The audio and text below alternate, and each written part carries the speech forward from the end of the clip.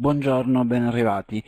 Io sono Gianfranco Andriola, vi parlo da Formet SPA, ente per il quale lavoro e che in qualche modo in questa settimana sta supportando il Dipartimento della Funzione Pubblica per l'organizzazione e la, tutte le attività che riguardano la settimana dell'amministrazione aperta. Um, buongiorno a tutte le persone che stanno scrivendo buongiorno, nessuno lamenta problemi di audio e video, quindi mi pare che ci sentiate e ci vedete benissimo, o quantomeno per il momento mi sentite sentite e mi vedete benissimo. Um, chiacchieravamo in chat prima che questo seminario si aprisse, oggi ci siete iscritti in quasi 600, quindi ci aspettiamo 300 persone, le, 500, le, le 157 che sono già entrate in aula sono state puntualissime e vi ringrazio. Io cercherò di andare rapidissimo nella mia introduzione, un po' perché uh, abbiamo molti interventi interessanti subito dopo di me, quindi non voglio davvero rubare spazio, un po' perché vi pare di aver capito che molte delle persone che sono qui oggi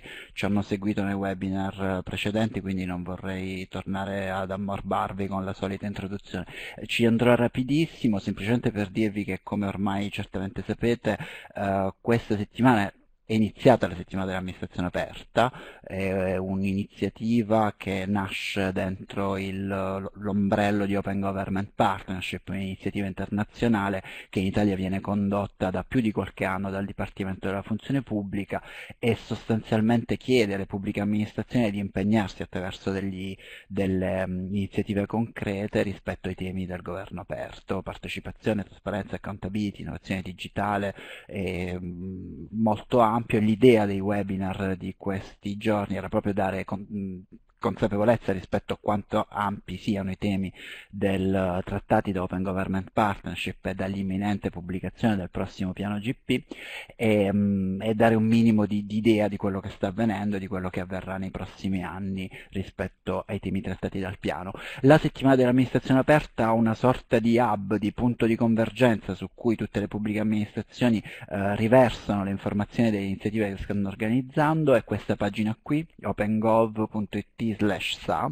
eh, trovate questa mappa dinamica con una serie di geolocalizzazioni rispetto agli eventi che ci sono. Eh, ne approfitto per dirvi che c'è un elemento strano nel senso che voi trovate geolocalizzati anche i webinar che poi di fatto non hanno una, una, ref una referenza fisica di, di fatto so, avvengono online però comunque più o meno potete avere un'idea di come le pubbliche amministrazioni italiane si stiano impegnando rispetto al, um, a organizzare eventi, a promuovere iniziative su questi giorni. La slide che vedete, eh, colpa mia, non è aggiornata perché in questo momento ci sono tre, cioè la slide dice che ci sono 340 eventi, in realtà ce ne sono di più, siamo quasi a 360, insomma, e credo che sia eh, la settimana dell'amministrazione aperta più partecipata degli, questa è la terza edizione e ogni anno continua a crescere ed è una cosa che ci fa davvero molto piacere. Mm, ci fa altrettanto piacere che eh, questa iniziativa che è iniziata in Italia tre anni fa della settimana dell'amministrazione aperta abbia funzionato così bene e sia piaciuta così tanto Open Government Partnership internazionale da replicarla a livello, a livello globale. Quindi in questa stessa settimana in tutti i paesi che vedete illuminati in questa mappa sta avvenendo qualcosa di, di, del tutto simile a quello che avviene in Italia. Um, organizzazioni della società civile, pubbliche amministrazioni, spesso entrambe in collaborazione propongono eventi uh, sui temi del governo aperto, anzi credo che l'Open go way Abbia una caratterizzazione più specifica sul, sulle minoranze, su, sul, sul, modo in cui eh, dare visibilità, dare spazio e dare nuovi diritti alle minoranze in giro per il mondo. E, è particolarmente interessante navigare questa mappa perché vi dà la dimensione di come poi eh, paesi diversi, pubbliche amministrazioni diverse declinino il tema del, del, governo aperto in modo diverso, in modo proprio. È, è interessante giusto anche solo da navigare. Tra le iniziative promosse dal Dipartimento della Funzione Pubblica pubblica nell'ambito, cioè, come dire, lanciate eh, nell'ambito della in questi giorni, insomma, nei giorni della settimana dell'amministrazione, eh, dell'amministrazione aperta e nell'ambito del, di Open Government Partnership, eh, vi parlo rapidissimamente del premio Open Gov Champion, la terza edizione del 2019 che in quest'anno è dedicata alle pubbliche amministrazioni, quindi lo dico soprattutto per chi di voi lavora in una pubblica amministrazione e volesse provare a candidare la propria iniziativa attinente ai temi del governo aperto al premio Open Gov Champions, lo può fare, lo può fare da questa pagina qui, stesso sito, slash premio. E invece credo che la cosa più notevole, la cosa a cui dare massima visibilità in questo momento rispetto ai temi di Open Government Partnership sia l'imminentissimo, uh, viene lanciato domani, il prossimo piano uh, nazionale d'azione per l'Open Government 2019-2021. Uh, eh, nella migliore tradizione di Open Government Partnership e facendo propri i, i, principi del governo aperto, il piano viene esposto a consultazione chiaramente prima di essere, di, essere, di diventare definitivo. Ed è su questo che mi piacerebbe, magari ve lo ricordo adesso e torno a ricordarvelo a conclusione del webinar, ed è proprio su questo che mi piacerebbe concentrare l'attenzione di questi primi minuti, eh, perché al di là de del fatto che è un esempio di partecipazione pubblica, quindi uno dei temi cari OGP, ne abbiamo parlato ieri, tra gli altri con Salvatore Marras e Federico Angelè nel webinar di ieri, che ci hanno raccontato un po' meglio uh, quali sono nell'interno del piano le iniziative che riguardano la partecipazione e la partecipazione online. Questo piano a sua volta viene esposto, come vi dicevo, a consultazione prima di essere approvato, quindi vi chiederei di darci uno sguardo domani nel momento in cui viene pubblicato, certamente di, di provare a darci una, una letta e se vi va, se avete voglia, se avete dei contributi interessanti di provare a partecipare alla consultazione. Uh, la consultazione certamente verrà su un sistema che si chiama commentario, quindi il testo del piano verrà, uh, sarà possibile commentare i singoli capoversi del testo e l'ambizione è quella di arrivare a una versione definitiva del piano solida che acquisisca tutti i contributi delle persone che, che decideranno di spendere qualche minuto per, uh, per, migliorare questo piano in una sorta di ipotesi di, di, di coproduzione progettazione di una politica pubblica. Questa è un po' l'ambizione che si pone eh, il uh, Open Government Partnership con la consultazione pubblica e quindi davvero vi chiederei domani di, di darci uno sguardo. Um, credo che ormai lo sappiate, in questa settimana abbiamo pensato, come vi dicevo all'inizio, di raccontare uh, l'imminente prossimo piano di d'azione nazionale per l'open governance attraverso quattro webinar. Abbiamo iniziato lunedì con un'introduzione generale sul piano, abbiamo proseguito martedì con trasparenza open data, partecipazione e accountability è stato il tema di ieri e oggi invece parliamo di cittadinanza e competenze digitali. Um, ne approfitto anche per ricordarvi, oggi abbiamo tra le altre relatrici di questo webinar Daniela Intravaglia e volevo semplicemente, magari Daniela ne accennerà certamente meglio nel prossimo intervento, che uh, avanti ieri sera, credo, è stato pubblicato il il piano triennale per informatica della pubblica amministrazione che coincide con lo stesso triennio di, di, implementazione del piano GP e ovviamente ci sono mille punti di congiunzione tra quello che è il piano per l'open government e il piano per l'informatica, il piano triennale per l'informatica nell'APA. È un ottimo motivo per darci un'occhiata e certamente come, come, immagino abbiate visto se siete iscritti alla piattaforma Eventi PA eh, molti molti webinar in questo periodo sono anche orientati verso i temi presidiati da Agid e contenuti all'interno di questo piano, quindi pensavo fosse eh, doveroso, necessario e assolutamente utile fare un accenno a questa novità eh, del, del, piano triennale. Venendo invece al webinar di oggi, ve l'ho più o meno già accennato, Daniele Entravaia ci racconta la cittadinanza e servizi digitali, Agid partecipa direttamente al piano triennale OGP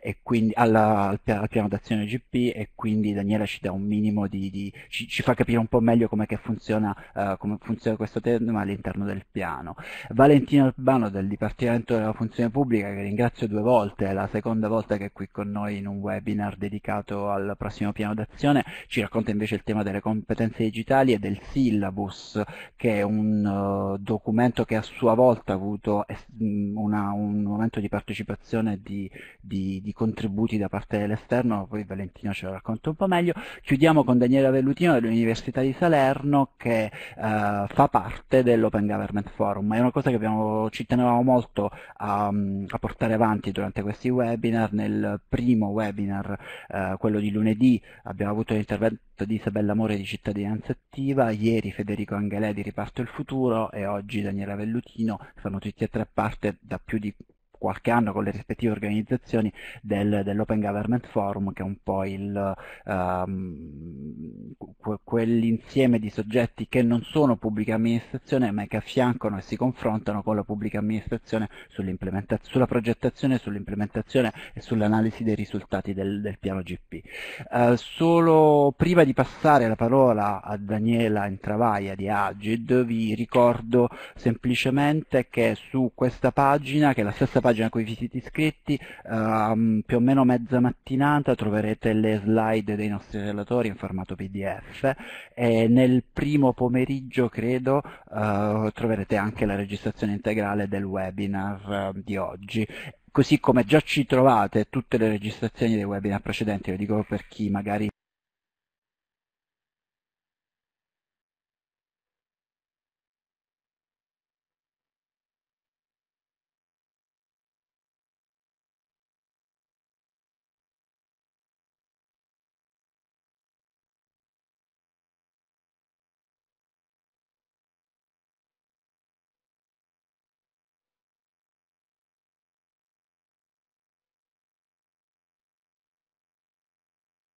si, si, è affacciato a questi webinar oggi per la prima volta, tutto in perfetta logica di governo aperto, di open access, di, di, di, di open data, di condivisione della conoscenza, tutto quello che produciamo eh, nell'ambito di questi webinar cerchiamo di condividerlo con tutti nel modo migliore possibile. Ultimissima cosa prima di passare la parola a Daniela, ehm, la settimana di amministrazione aperta realtà ha una connotazione molto dinamica, nel senso che stanno avvenendo cose e continuano ad avvenire, cerchiamo di dare visibilità a tutto quello che avviene, il mezzo più comodo è il nostro account Twitter, quindi a questo indirizzo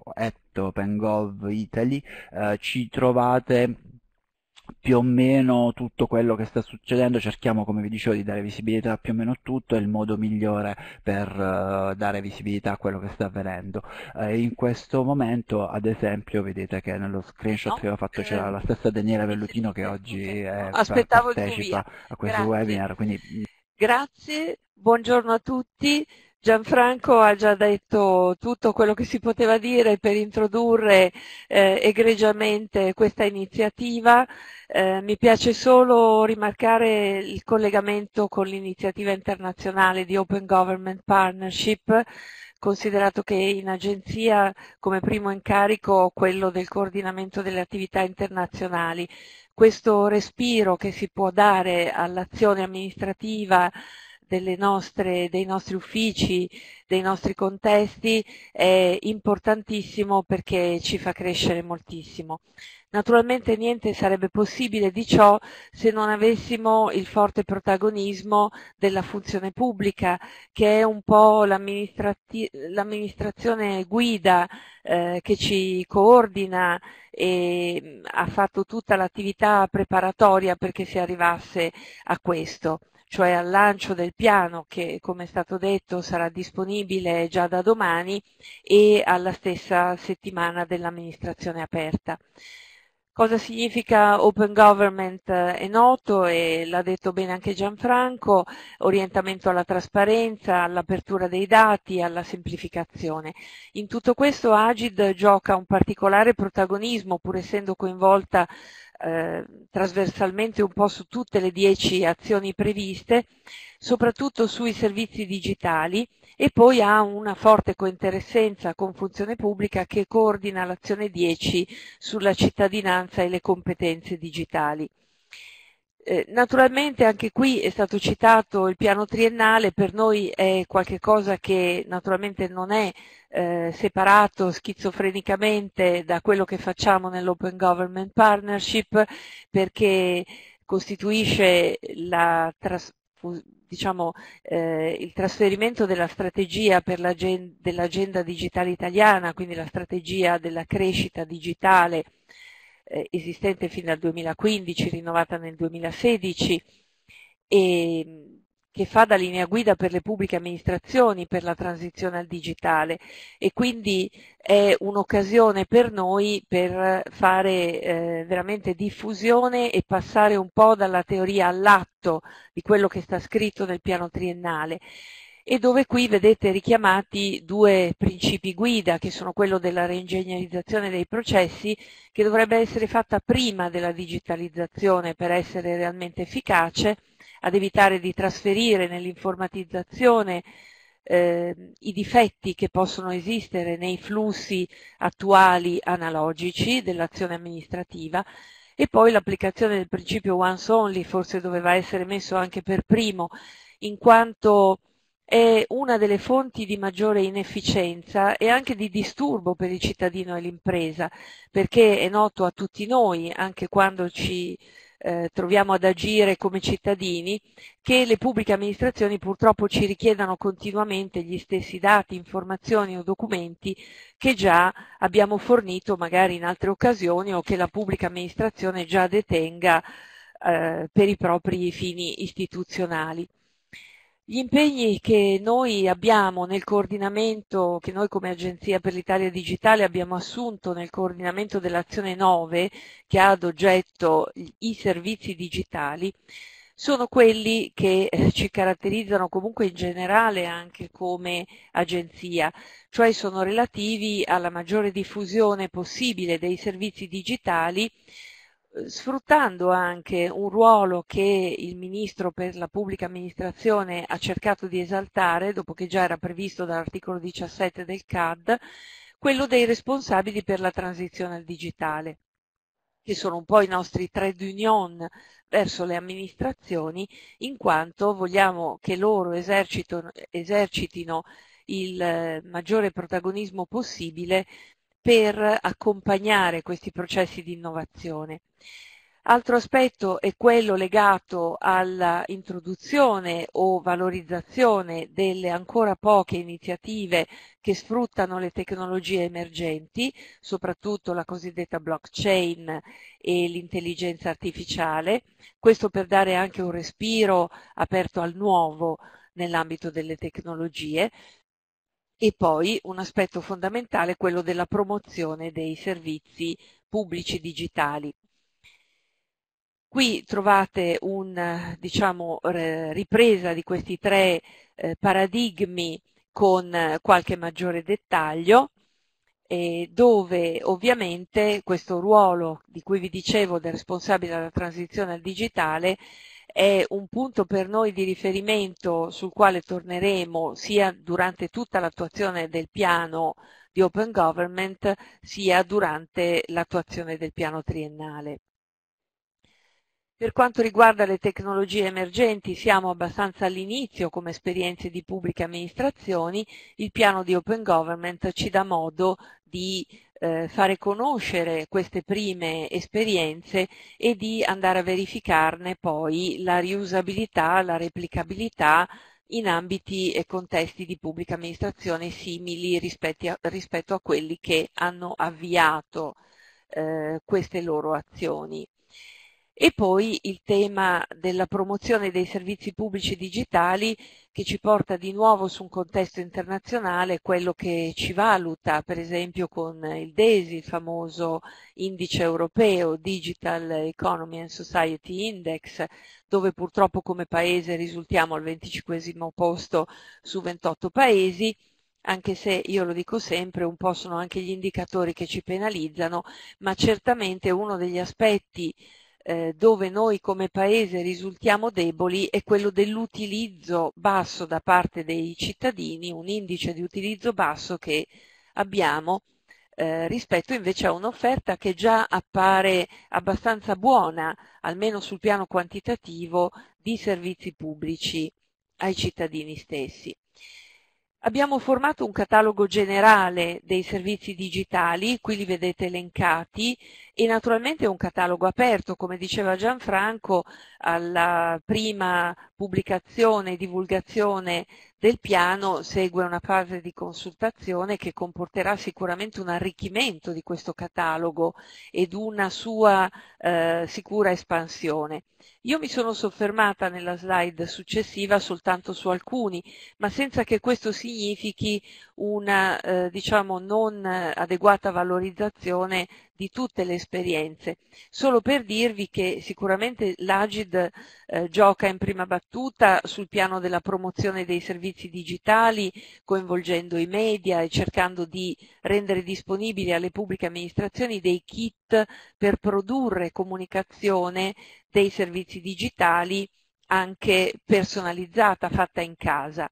Il Comune di Roma si caratterizza per una forte spinta all'adozione delle piattaforme abilitanti per i servizi dove ancora questi non siano disponibili. Mi riferisco a SPID, a PagoPA e alla stessa anagrafe della popolazione residente. Un'esperienza importante di applicazione di tecnologie emergenti l'abbiamo col MIUR e il CIMEA, eh, cioè sulla valorizzazione dei diplomi a livello europeo.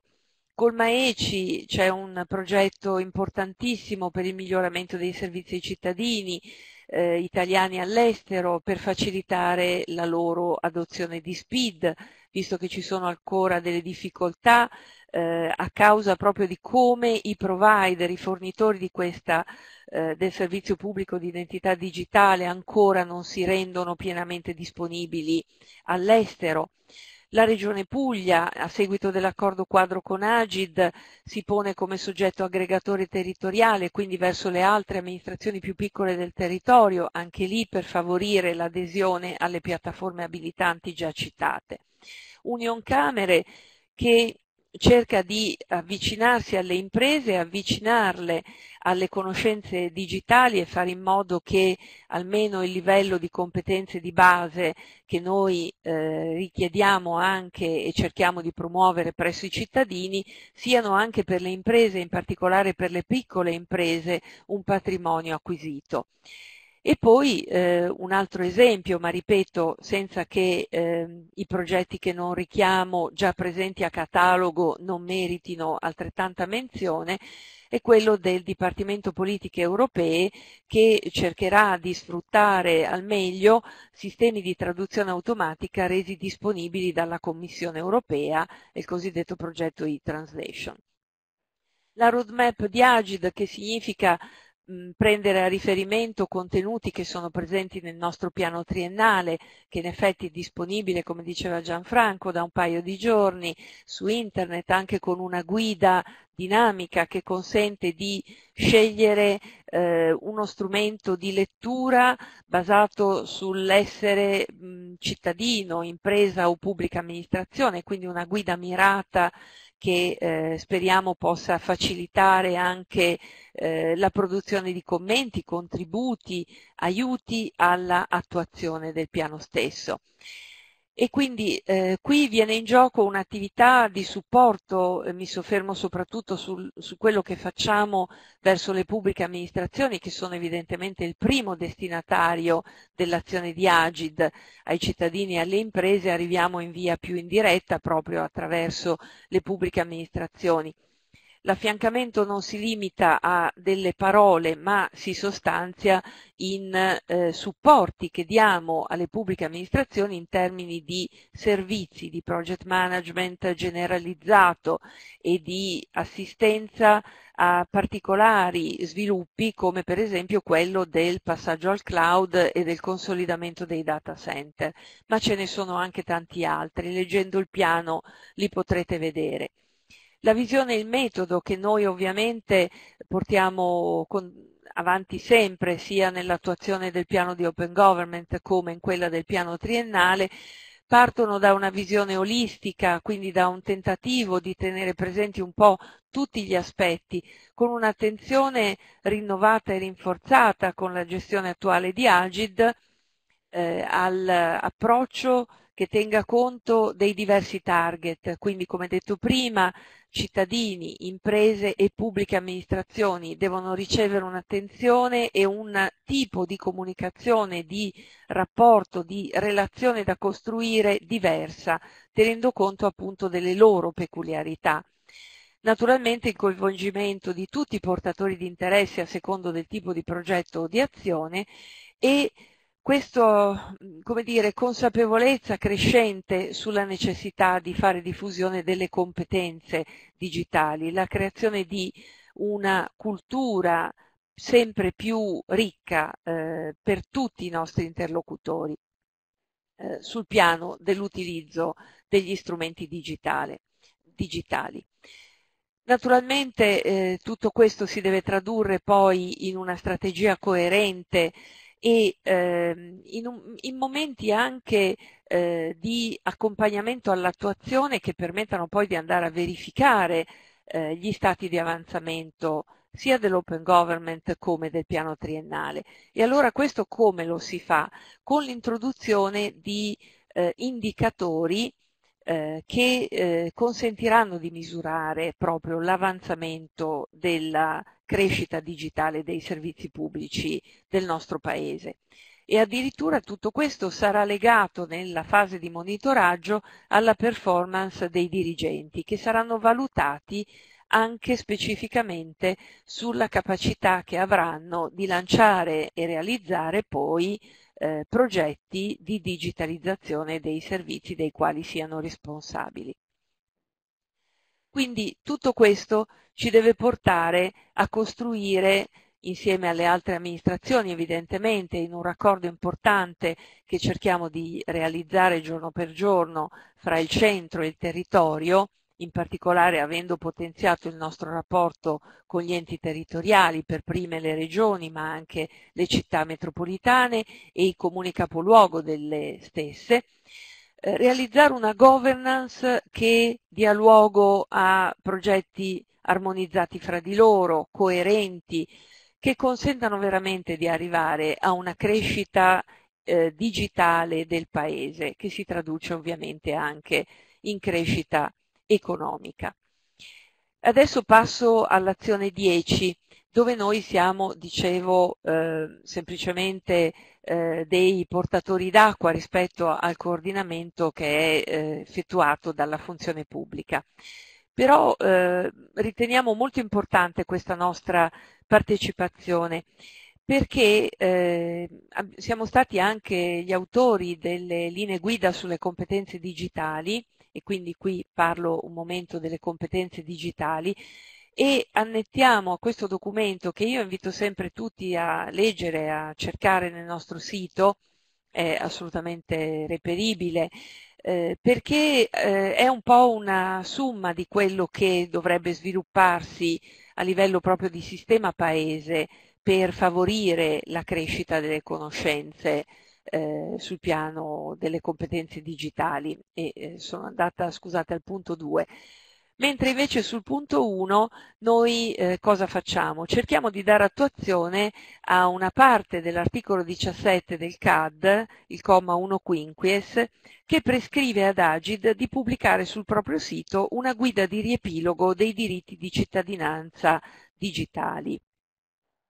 di questo parliamo un pochino più in dettaglio con questa slide. Ecco, questo è un discorso molto importante eh, sul quale io vorrei richiamare l'attenzione dei colleghi che, eh, che, ringrazio per essere presenti eh, da remoto a questo webinar, eh, dei colleghi appartenenti alle varie pubbliche amministrazioni. Ora, nel momento in cui noi pubblicheremo questa guida, sicuramente i cittadini avranno un ulteriore momento di conoscenza dei propri diritti di cittadinanza digitale che li spingerà a richiedere, a esigere da noi poi i corrispondenti servizi. Questo lo dico perché eh, ci attendiamo un impatto forte da questa azione e d'altra parte noi non la possiamo rallentare con l'idea che ehm, le amministrazioni potrebbero non essere tutte pronte a fronteggiare queste richieste, altrimenti cadremmo in brutta eh, in quel brutto atteggiamento che alcuni definiscono amministrazione difensiva. Quindi su questo il mio è un invito all'essere pronti, per usare il vecchio motto degli scout, le stote parati, perché effettivamente nel momento in cui noi realizzeremo questa guida, che non sarà altro che un richiamo a diritti che sono già tutti presenti, scritti nel CAD, nel codice dell'amministrazione digitale, potrebbe esserci questa eh, intensificazione delle richieste a noi stessi, tutti, pubbliche amministrazioni, per non dire richiami, reclami al difensore civico che come sapete è incardinato proprio qui nella nostra agenzia eh, per esigere la disponibilità effettiva di questi diritti. Naturalmente a questo accompagniamo anche una proposta di realizzare un servizio civile digitale, troverete i dettagli nel piano. Sulle competenze vi ho già detto qualcosa, nel nuovo piano triennale trovate un riferimento un pochino più dettagliato che qui è stato riportato, vado un pochino più veloce perché il mio tempo vedo che sta scadendo. E eh, certamente il piano triennale per tutte le pubbliche amministrazioni è qualcosa che sarà da leggere, perciò io vi invito a farlo e eh, non mi soffermo su testi che ritroverete eh, sicuramente a vostra disposizione. Cittadinanza e competenze digitali a cosa ci devono aiutare? Ci devono aiutare a costruire un nuovo CIVES, un nuovo tipo di cittadino, più consapevole, più desideroso, anche curioso di eh, affrontare le novità della tecnologia perché indubbiamente con una popolazione anziana che abbiamo, non voglio dire cose ovvie a voi tutti note, è difficile fare crescere queste competenze digitali perché alle naturali resistenze, alla novità, al cambiamento si aggiungono proprio difficoltà di tipo culturale, anagrafico, eh, che rendono difficile fare propria questa cultura. Anche in questo caso nell'azione 10 noi siamo presenti in una serie di azioni che qui vedete citate, coinvolgono l'INPS, Roma Capitale, il MIBAC e Union Camere e quindi eh, su questo, ripeto, non mi soffermo.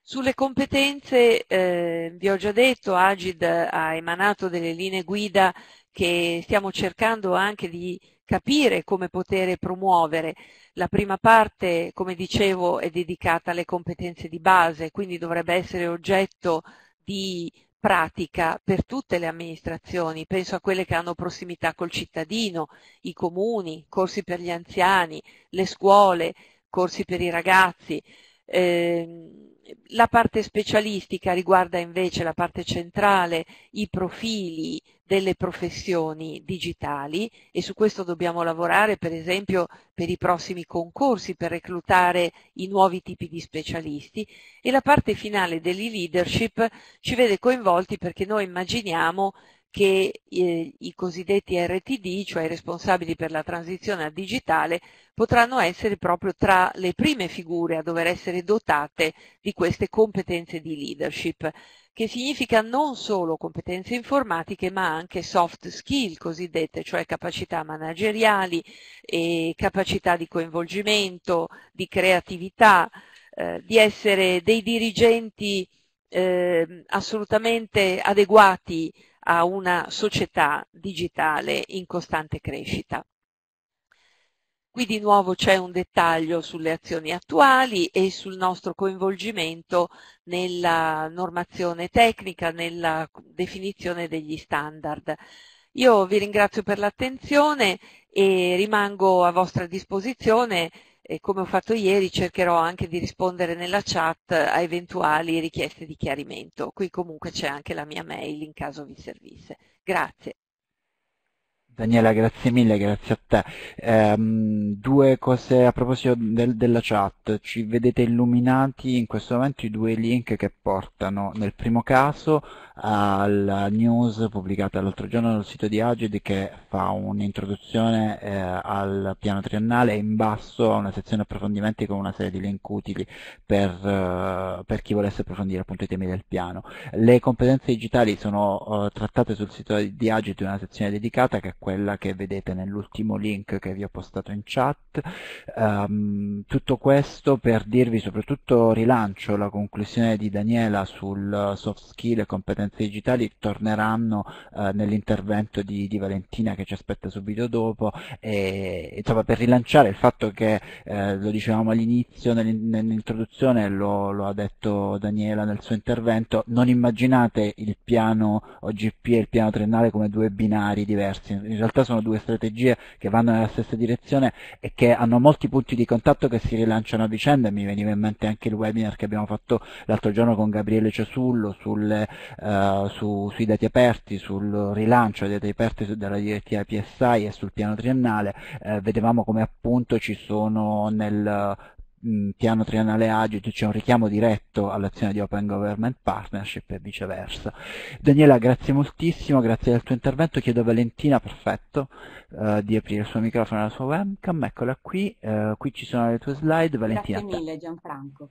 Allora, durante questo eh, breve intervento, diciamo, la, la, la, finalità che vorrei perseguire è quella di approfondire un pochino di più eh, l'azione eh, diciamo, sulle competenze digitali che eh, la funzione pubblica sta coordinando nell'ambito del, eh, dell'action plan, ovviamente con il fondamentale contributo di Agid, oltre delle altre amministrazioni che hanno manifestato appunto la loro voglia a partecipare a questa azione. Ovviamente sul fronte del, eh, del, del forte coinvolgimento di Agid abbiamo già avuto modo di avere eh, un, un, importante spaccato fornito da, da Daniele Entravaglia. E rispetto alla costruzione dell'azione sicuramente siamo eh, molto contenti diciamo, di come sono andati questi lavori preparatori perché effettivamente hanno consentito di eh, creare un'azione che andasse incontro a tutti quelli che sono i bisogni essenziali di, eh, eh, di quelli che sono i protagonisti, vale a dire cittadini, imprese e dipendenti pubblici, di cui ovviamente lo sviluppo delle competenze digitali è essenziale per la formazione di una società, un'economia digitale. E ovviamente lo siamo ancora eh, più contenti visto che diciamo, eh, già come richiamava Daniele Intravaglia, il DESI 2018 non eh, restituisce diciamo, un, una visione particolarmente eh, positiva rispetto al livello di competenze digitali e in generale capitale umano per quanto riguarda l'Italia e, e in particolare si rilevano estreme difficoltà sia eh, sul fronte delle, delle due categorie eh, più critiche eh, sul tema delle competenze, vale a dire anziani e persone inattive, che mh, fino adesso non sono state particolarmente coinvolte in eh, iniziative di rafforzamento delle competenze pur sapendo che, eh, pensiamo alle persone inattive, ovviamente un rafforzamento di queste competenze è essenziale per poter anche aprire delle opportunità eh, sul mondo di lavoro. E ovviamente eh, l'altra categoria critica è quella della pubblica amministrazione, visto che ormai ampiamente riconosciuto come la mancanza di competenze digitali specifiche eh, rappresenti una delle principali barriere al ricorso a nuove tecnologie per migliorare i servizi offerti così come nel caso delle, delle imprese, in particolare delle PMI, che rappresentano diciamo, il, eh, la caratteristica, dire, il, la caratteristica del, del, settore imprenditoriale italiano, faticano ancora a ricorrere al digitale tanto per lo sviluppo del loro business quanto per la gestione dei rapporti con l'APA.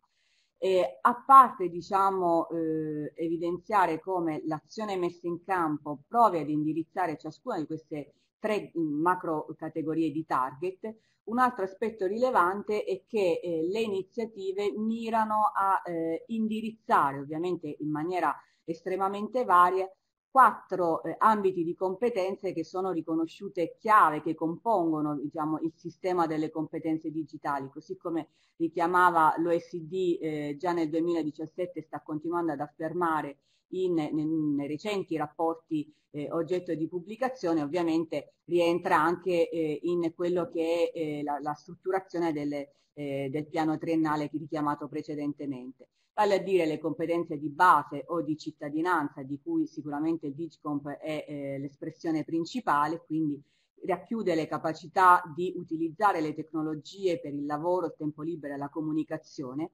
ovviamente le competenze specialistiche che riguardano i professionisti ICT, eh, le competenze di management e di leadership che sono fondamentali per eh, guidare eh, e, o come dire, cogliere le opportunità rappresentate dalla trasformazione digitale e promuovere l'adozione la, la, di eh, percorsi di digitalizzazione tanto nel contesto pubblico quanto nel contesto privato. E a queste si aggiungono le competenze complementari, vale a dire delle competenze specifiche che eh, scaturiscono dai profondi cambiamenti che riguardano specifici contesti di lavoro dovuti appunto alla, eh, alla trasformazione digitale. Penso in particolare al contesto del, del pubblico impiego dove diciamo, la trasformazione digitale assume una caratterizzazione molto specifica perché eh, attiene all'adozione di strumenti che sono peculiari per il lavoro del, del, dipendente pubblico, uno per tutti, tutto il sistema di gestione documentale e gestione di protocollo, ma è soltanto un esempio, ehm, quindi richiede delle eh, competenze specifiche, oltre al fatto, tornando al tema della, pubblica amministrazione, come la digitalizzazione sia oggetto di una, di una, normazione particolarmente specifica che richiede degli adempimenti specifici, che ovviamente a loro volta richiedono delle competenze specifiche. E, considerando diciamo, queste due dimensioni, quindi il target indirizzato e l'ambito di competenze, ho provato un po' a, riorganizzare tutti quelli che sono gli impegni specifici che verranno, eh, che sono proposti appunto nel piano di azione OGP e che eh, avrete modo poi di approfondire nel dettaglio a seguito del, della, del lancio della consultazione pubblica. In particolare il Comune di Roma eh, e il MIBAC, quindi il Ministero per i Beni Culturali, hanno proposto degli impegni che attengono al rafforzamento delle competenze di base, quindi si rivolgono primariamente ai cittadini per diffondere appunto competenze digitali. Nel caso del Comune di Roma attraverso la diffusione e il potenziamento dei punti Roma Facili e le attività della scuola diffusa per la partecipazione alla cittadinanza digitale mentre nel caso del MIBAC eh, parliamo del progetto Fabbrica delle Idee che vede un forte ruolo da parte delle biblioteche pubbliche e in particolare della Biblioteca di Potenza per la produzione di servizi e di contenuti digitali di eh, varia natura destinati appunto alla popolazione. Union Camere ovviamente per la sua natura si rivolge invece a, alle imprese e quindi propone eh, all'interno del piano un impegno specifico che in qualche modo ha confine tra competenze specialistiche e competenze di management e di leadership. Infatti eh, è impegnato nella definizione di una norma tecnica che descriva quelle che sono le competenze del manager dell'innovazione digitale, ovvero di una figura che dovrebbe promuovere e supportare le, le imprese nel processo di transizione digitale e eh, al contempo lavora all'attivazione di un percorso di certificazione di tali competenze.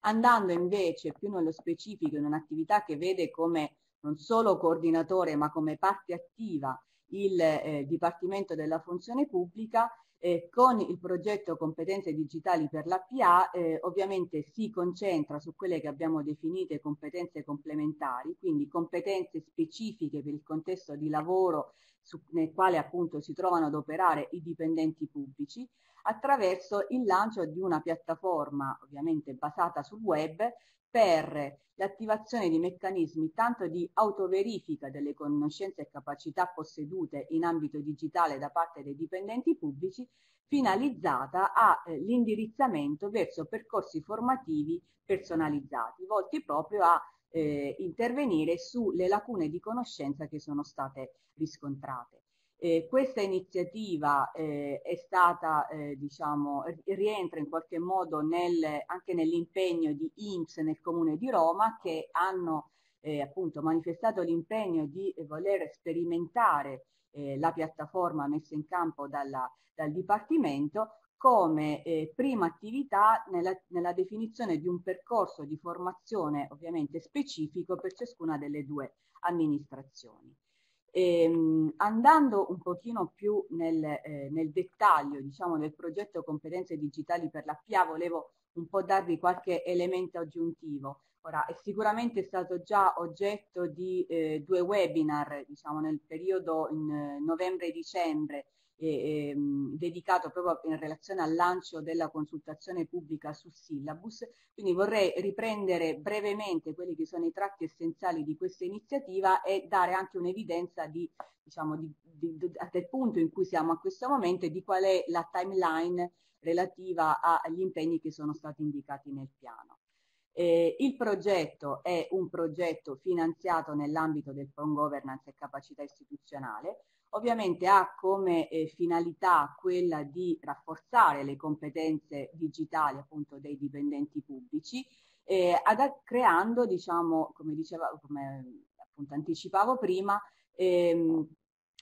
realizzando quello che è il percorso classico, canonico che dovrebbe essere intrapreso nel momento in cui si pianifica la formazione, vale a dire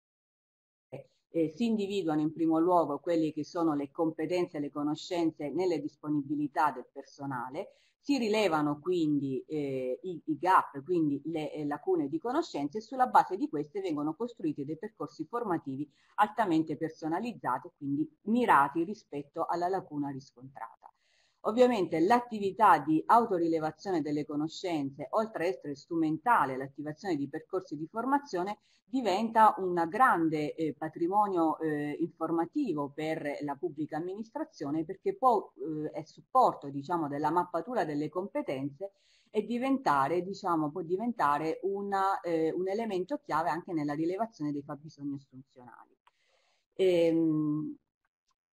i componenti del progetto, il primo componente è sicuramente il syllabus richiamato anche sul titolo diciamo, del, del mio intervento, vale a dire il documento che descrive le conoscenze e le abilità che eh, dovrebbe possedere un dipendente pubblico per poter agilmente eh, lavorare in una pubblica amministrazione sempre più digitalizzata e al contempo avere un eh, approccio consapevole anche e proattivo nel percorso di trasformazione digitale. Il syllabus, dicevamo poc'anzi e l'anticipava anche eh, Gianfranco nell'introduzione, è stato oggetto di una consultazione pubblica nel periodo intercorrente tra eh, di, ottobre e eh, dicembre, consultazione che è andata veramente molto bene, quindi sono arrivati oltre 200 eh, commenti, proprio a dimostrazione del particolare interesse che c'è rispetto a, eh, al tema quindi delle competenze digitali nell'ambito pubblico. E ovviamente tutti questi eh, contributi sono al momento a vaglio estremamente accurato per eh, arrivare alla costruzione del, eh, della versione finale diciamo, del syllabus che verrà rilasciata a breve così come il report di dettaglio della consultazione. Eh, il syllabus è di fatto eh, lo strumento di riferimento in primo luogo per la costruzione del sistema di autoverifica perché è appunto su questo descrittore di conoscenze e abilità che verranno costruite le domande che saranno oggetto del sistema di test di autovalutazione ma è anche lo strumento di riferimento per la costruzione dei corsi formativi che verranno poi proposti alla eh, ai dipendenti pubblici che ovviamente decideranno di eh, partecipare insieme alle loro amministrazioni a, a questa iniziativa. E infatti i due eh, componenti ulteriori oltre al syllabus sono proprio il sistema di autoverifica delle competenze, quindi basato su un test molto semplice quindi, eh, come struttura, quindi basato su eh, domande a risposta multipla, ehm, a cui appunto si potranno sotto, sottoporre eh, i dipendenti pubblici e al termine del percorso di eh, autovalutazione verranno, appunto, verrà suggerito loro una serie di eh, percorsi formativi che potrebbero essere eh, adeguati a colmare il gap di conoscenze che è stato rilevato. Quindi se una persona ha un, eh, diciamo, un livello di conoscenza di, di, di, base su una determinata area di competenza, le verrà suggerito diciamo, uno o più corsi che saranno funzionali al, eh, al passaggio diciamo, di, di, livello di padronanza, quindi di passare dal livello base al livello intermedio al livello avanzato rispetto a quella determinata area di competenza. Eh, I eh, corsi formativi saranno organizzati in un catalogo della formazione che verrà di fatto gestito dal Format, che è l'importante altra colonna diciamo, eh, di di questo progetto che eh, di fatto creerà un meccanismo in qualche modo di accreditamento dei corsi, quindi verranno inseriti a catalogo quei corsi che proposti da amministrazioni ma proposti anche da soggetti privati che eh, risultano coerenti con quelle che sono le caratteristiche del syllabus in primis e anche che risponderanno a un'altra serie di requisiti che verranno appunto elaborati in un'apposita linea guida. Al termine della formazione per il dipendente sarà poi possibile ripetere il test in modo tale da verificare se la lacuna che aveva riscontrata è stata effettivamente colmata oppure no. Ehm, giusto rapidamente i contenuti del syllabus che sono stati confermati sostanzialmente anche dalla consultazione pubblica e, eh, il syllabus si articola in cinque aree di competenza, quattro che attengono strettamente a quella che è l'operatività del dipendente pubblico nel suo quotidiano, quindi parliamo di dati, informazioni e gestione dei documenti informatici, ma anche la comunicazione e condivisione, tanto con altre amministrazioni quanto con i cittadini e le imprese, il tema della sicurezza rispetto a cui c'è sempre una forte sensibilità e preoccupazione, anche eh, vista la, la, complessità della materia, pensiamo al, al GDPR. E, ehm, l'ultima è quella relativa ai servizi online, quindi elementi chiave sono sicuramente la conoscenza del concetto di identità digitali e una serie di aspetti legati all'erogazione dei servizi online. A parte queste quattro aree, come dicevo, legate all'operatività del dipendente pubblico, vi è un'ultima area della trasformazione digitale che mira in qualche modo a eh, identificare delle le competenze, le conoscenze che dovrebbe avere un cittadino rispetto al, scusate, un dipendente pubblico rispetto al contesto nel quale si sta muovendo, quindi quali sono le macro strategie rispetto al digitale e quali sono diciamo quelle che eh, le innovazioni che potrebbe trovarsi a dover gestire di lì a breve, quindi pensiamo a tutte le prospettive delle tecnologie eh, attualmente emergenti, quindi big data piuttosto che intelligenza artificiale, piuttosto che internet of things.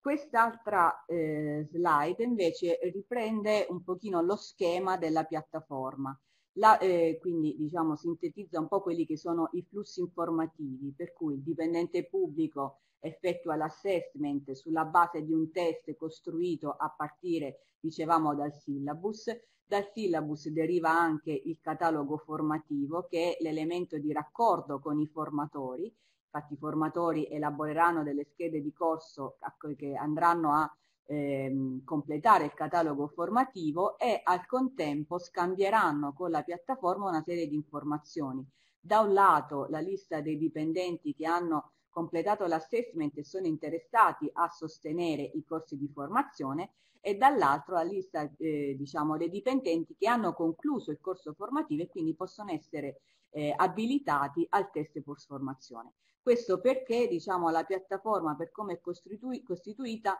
non prevede al suo interno l'erogazione eh, dei corsi di learning, ma l'interazione, eh, quindi l'interoperabilità con le piattaforme dei singoli formatori che erogheranno appunto presso la stessa, le loro piattaforme appunto la formazione stessa. Un altro elemento importante sono gli analytics, quindi eh, dall'acquisizione eh, di, di, diciamo, di tutti gli esiti del, dei percorsi di assessment verranno ehm, elaborate diciamo, delle statistiche che a vari livelli di dettaglio verranno rese disponibili tanto al singolo eh, dipendente per poter fare anche delle sue attività di benchmarking e valutazione, tanto all'amministrazione, tanto ai soggetti pubblici. Ovviamente per ogni livello di apertura sarà opportunamente valutato anche il grado di tutela della privacy necessario. Un ultimo elemento che la piattaforma nasce per essere multisillabus, vale a dire può essere utilizzata per, eh, una volta costituita, per poter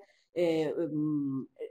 riusarla appunto per altre syllabus, quindi per altri ambiti di competenza, diventando uno strumento poi a, a supporto delle amministrazioni che vogliano attivare percorsi di formazione strutturati in questo modo e quindi che vogliano attivare anche percorsi di assessment su ehm, contenuti eh, diversi da quelli della, delle competenze digitali. Giusto rapidamente, visto che ho terminato diciamo, il tempo a disposizione, la timeline rispetto agli impegni di OGP sul fronte di competenze digitali per la PA, a giugno di quest'anno verrà pubblicato il sito web di progetto che è anche una demo del funzionamento della piattaforma e verrà anche avviata la sperimentazione su almeno tre amministrazioni. Abbiamo visto INPS e eh, Comune di Roma, ma hanno manifestato anche l'interesse a partecipare anche il MIBAC e l'INAIL. Nell'anno successivo, invece, dopo completata la fase di sperimentazione, la piattaforma verrà poi resa disponibile a tutte le amministrazioni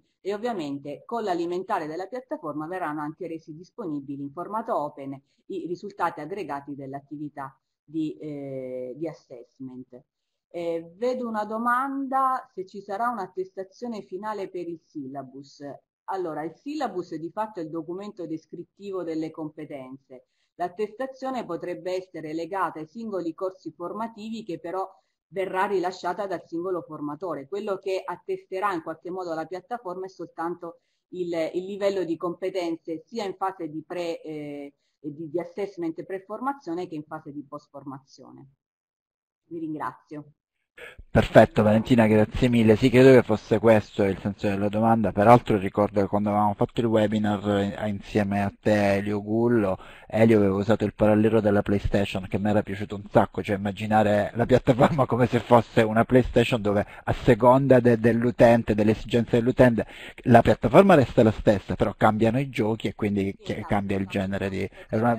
diversi syllabus su temi diversi, esatto. penso al normativa sugli appalti piuttosto che altro, assolutamente sì, possono essere poi costruiti percorsi anche per, per temi diversi ovviamente, sì.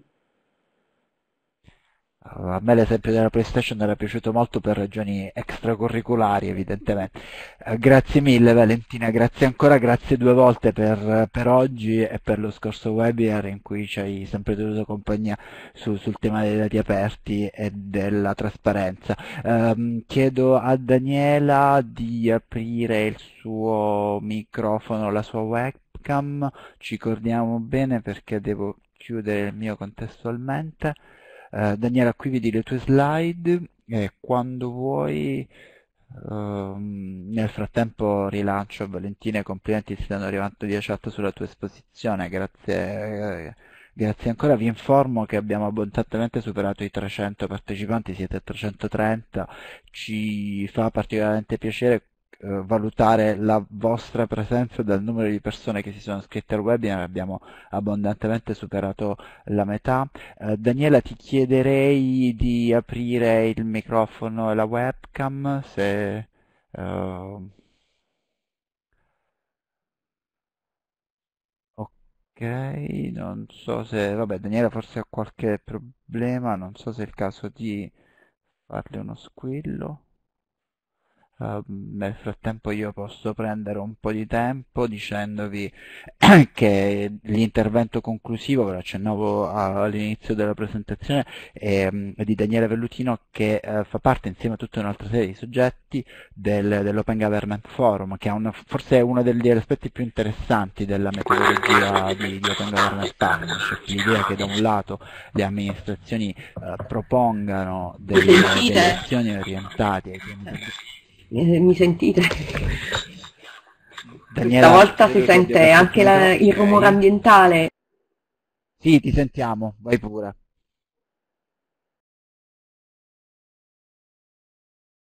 Io cerco di essere brevissima. Um, buongiorno a tutti, sono Daniela Vellutino, mi occupo, sono docente di comunicazione pubblica e linguaggio istituzionale all'Università di Salerno, che è una laurea magistrale del gruppo di scienze della comunicazione. Partecipo all'Open Government Forum, partecipiamo all'Open Government Forum come, come, laboratorio didattico per la comunicazione pubblica che faccio con gli, con gli studenti della, della, mia laurea magistrale.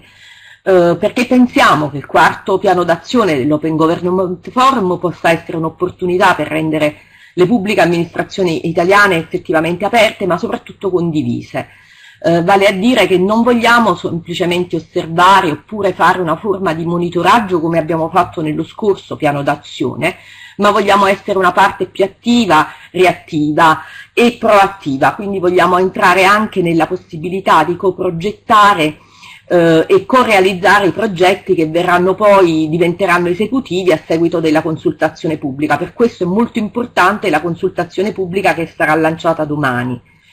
Ehm, e perché poi mh, come eh, ho scelto di partecipare al tavolo di servizi pubblici qua con refuso, servizi pubblici digitali e competenze digitali. Preferisco che ci sia questa aggettivazione di servizi pubblici digitali proprio per sottolineare che questi sono servizi che sono rivolti al pubblico.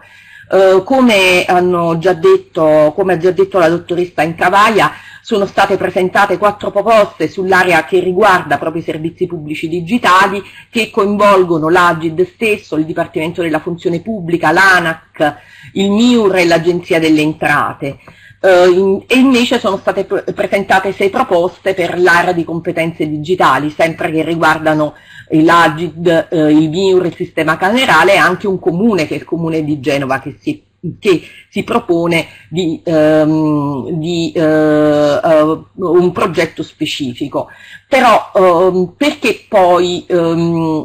per me è molto importante ed è anche molto importante per partecipare gli studenti al, a, a, questo percorso, perché di fatto eh, io formo comunicatori pubblici e in questa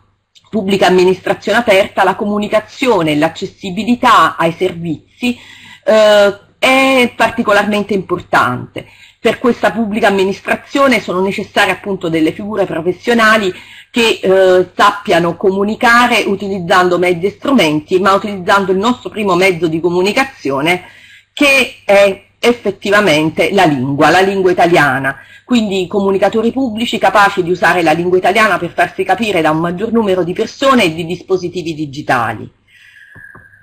Eh, nell'era delle web 3.0, quella dei servizi pubblici digitali, quindi i comunicatori pubblici devono avere delle nuove competenze, quelli che dovranno entrare nella pubblica amministrazione o quelli che dovranno, come dire, ricostruire il proprio, il proprio sapere della pubblica amministrazione, cioè devono essere capaci di gestire dei dati aperti in formato aperto, di documenti in XML schema, capire quali sono i termini istituzionali da inserire negli schemi di metadatazione per creare dei contenuti linked open data e quali sono i termini da glossare per un cittadino che vuole conoscere il termine specialistico da oppure da semplificare. In questo modo si creano dei servizi accessibili da diversi dispositivi digitali e facilmente usabili dal maggior numero di cittadini eh, nuove competenze per nuovi comunicatori pubblici che usano il codice della lingua per ottimizzare anche il codice digitale. Eh, con l'Agid Agid ha già sviluppato molti progetti, eh, confesso che il piano triennale non l'ho ancora ben letto, l'ho guardato semplicemente perché è uscito due giorni fa. Eh, molti di questi progetti sono molto interessanti, il catalogo dei servizi, Ontopia, e il mio personale contributo e quello che daranno i miei studenti che partecipano appunto al laboratorio diritto di accesso civico sarà diffondere il nostro metodo di lavoro sulla comunicazione pubblica che integra competenze di linguistica, quindi linguistiche, a, competen a competenze informatiche. E perché vogliamo collaborare attivamente a questo sviluppo dei servizi pubblici digitali. Gli uffici di comunicazione devono appunto essere centrali in questa pubblica amministrazione digitale proprio perché devono assicurare il diritto di accesso civico ai dati pubblici, ai documenti e alle informazioni istituzionali. Devono saper gestire i processi di accountability e la partecipazione civica, proprio perché hanno bisogno di competenze ehm, di, di, di, quelle che sono le richieste e le esperienze degli utenti possono dare dei suggerimenti validi per la creazione di servizi digitali pubblici facilmente usabili. Um, la legge 150 è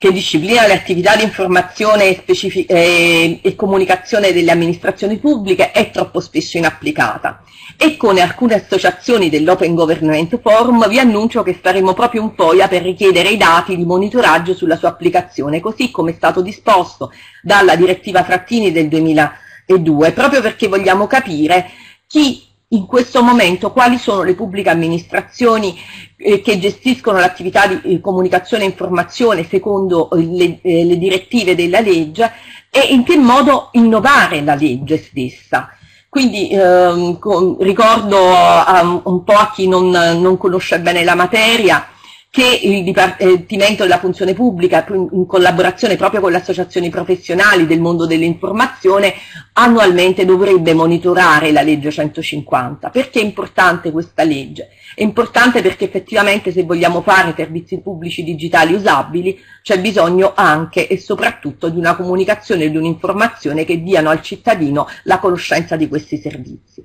Vi ringrazio, credo di aver uh, utilizzato il mio tempo e comunque um, non, non ho messo una slide che lancia quello che è l'attività che faremo venerdì proprio sulla legge 150 e soprattutto sul giornalismo investigativo, sul data journalism e l'attività che facciamo di restituzione ai comuni dei dati eh, sui rifiuti e l'iniziativa si chiama Chi ha dato ha dato, semmai le integro a queste slide proprio perché mi farebbe piacere diffondere quanto più possibile la metodologia di lavoro per la comunicazione pubblica. Vi ringrazio tutti e non ho feedback. Ci siete? Daniele, io cercavo di non... Sì, di non aprire il mio microfono perché c'è questo strano ritorno in cuffia, quindi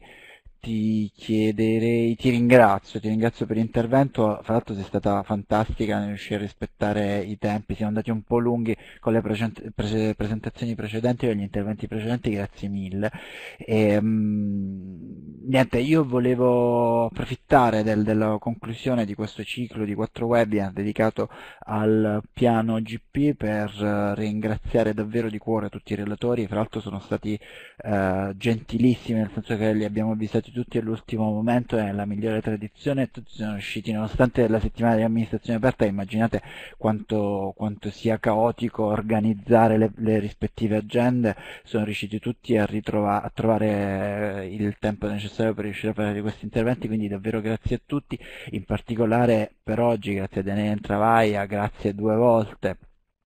a Valentina Albano che è stata in nostra compagnia, cioè ci ha fatto compagnia oggi e martedì scorso sul tema dei dati aperti, grazie a Daniele Vellutino, uh, grazie a Stefano Pizzicannella che i, per il Dipartimento della Funzione Pubblica si prende cura di Open Government Partnership in Italia più o meno da quando è iniziata, quindi da, da, dagli albori del primo piano GP italiano. E senza di lui probabilmente non saremmo riusciti a chiudere così rapidamente i programmi di questi webinar. E ci spiace che a sua volta era molto incasinato non è riuscito ad affacciarsi, però, però a Stefano va il nostro, eh, il nostro grazie per, per, il supporto dietro le quinte e l'organizzazione di tutta questa cosa. Um, alcune informazioni. Domani parte il, la consultazione sul piano, davvero è la cosa su cui mi piacerebbe uh, cercare di catalizzare la vostra attenzione. Uh, tutto quello che è stato prodotto in questi quattro giorni nell'ambito di questi quattro web a registrazioni integrali e slide dei nostri relatori lo trovate su Eventipia, eh, certamente sul canale YouTube l'APA che si vede, il uh, canale del format, ci trovate anche una playlist che ha fatto Gianluca Finito che eh, è stato in regia per tutti i webinar di questi giorni e per tutta la caterva di webinar che il Formez